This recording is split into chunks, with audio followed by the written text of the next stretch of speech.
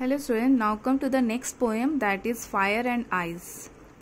Robert Frost's poem Fire and Ice expresses the idea that the world will end in two ways, either ice or fire.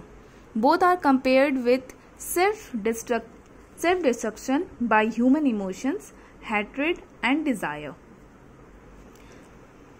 One group says that someday the earth's core will get so heated up that it will uh, lead fire and destroy the earth's surface.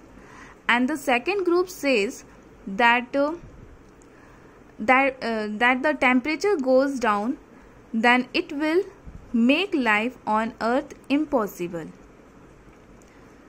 The human capability lack of feeling and hatred as the potential has the potential for inner destruction. Though slow and steady, it has the same effect that desire has on us.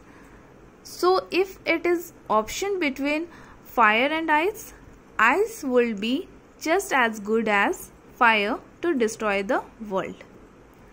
So that is for today. Thank you.